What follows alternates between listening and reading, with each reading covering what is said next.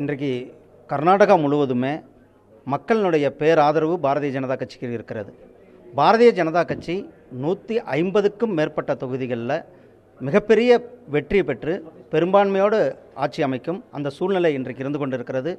நம்மளுடைய பிரதமர் திரு நரேந்திர மோடிஜி அவர்களுடைய சு- சு- சுற்றுப்பயணம் அவர்களுடைய பேரணி நீங்கள் ரெண்டு நாள் வரலாற்றில் முதல் முறையாக ஒரு பிரதமர் அவர்கள் நேரடியாக மக்களை முப்பத்தி ஆறு கிலோமீட்டர் சந்தித்திருக்கிறார். அதாவது பேரணியாக அது முதல் நாள் இருபத்தி ஆறு கிலோமீட்டர் அடுத்த நாள் பத்து கிலோமீட்டர்ன்ட்டு முப்பத்தாறு கிலோமீட்டர் நேரடியாக மக்களை அந்த மக்கள் வந்து கொடுத்த உற்சாக வரவேற்பு. அது மாணவர்களாகட்டும் இளைஞர்களாகட்டும் வயதானவர்களாக இருக்கட்டும் பெரியவர்கள் அத்தனை பேருமே ரோடுகளில் திற திரண்டு அவருக்கு ஒரு மிகப்பெரிய உற்சாக வரவேற்பை கொடுத்து அவர்களுக்கு ஒரு பெரு ஆதரவை கொடுத்திருக்கிறார்கள். இந்த ஆதரவு தான் இன்றைக்கு மிகப்பெரிய அளவில் பாரதிய ஜனதா கட்சிக்கு இன்றைக்கு நூற்றி ஐம்பதுக்கும் மேற்பட்ட தொகுதிகளில் மிகப்பெரிய அளவில் வெற்றி பெற்று தனிப்பெரும்பான்மையோடு ஆட்சி அமைக்கும். இப்போ பிரதமர் மோடி வந்து இங்கே தொடர்ந்து ஏழு நாட்களாக இருந்து பிரச்சாரம் பண்ணிட்டு இருக்காரு இது பாஜகவுடைய பலம்னு பார்க்கலாமா? இல்லை பா பாஜக இங்கே பலவீனமாக இருக்கிறத சரி செய்யறதுக்காக அவர் தொடர்ந்து பிரச்சாரத்தை ஏற்படுறாரு பிரதமர் திரு நரேந்திர மோடிஜி அவர்கள் பாரதிய ஜனதா கட்சியினுடைய தலைவர் மிக முக்கிய மூத்த தலைவர். அவர் வந்து நமக்கு அந்த தேர்தல் பிரச்சாரத்துக்கு எல்லா மாநிலத்திற்கும் போகிறது தான் அதனுடைய ஒரு இதுதான் இங்கேயும் தேர்தல் பிரச்சாரத்துக்கு வந்திருக்கிறார்.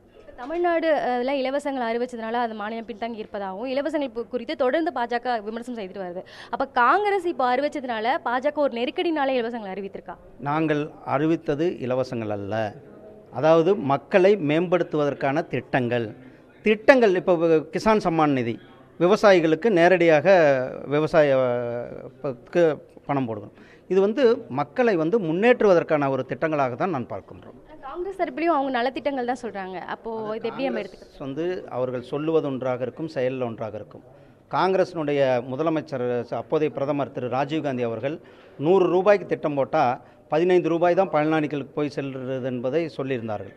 ஆனால் பாரதிய ஜனதா கட்சியினுடைய திட்டங்கள் நூறு ரூபாய்க்கு திட்டம் போட்டால் அந்த நூறு ரூபாய் நேரடியாக நேரடியாக பயனாளிகளுக்கு போகிறது உதாரணமாக பல இதை சொல்லலாம். நான் விவசாய சன்மான் நிதியை சொல்லுகிறேன். விவசாயிகளுக்கு ஆறாயிரம் ரூபாய் விவசாய சன்மான் நிதி கொடுக்குறோம். அந்த விவசாய சன்மான் நிதி நேரடியாக விவசாயிகளுக்கு போய் சேர்ந்து கொண்டிருக்கிறது. அப்படிதான் நம்ம டைரக்ட் பெனிஃபிஷரிஸ் திட்டத்தின் கீழே நேரடியாக பயனாளிகளுக்கு திட்டத்தினுடைய பயன்கள் சென்று கொண்டிருக்கிறது.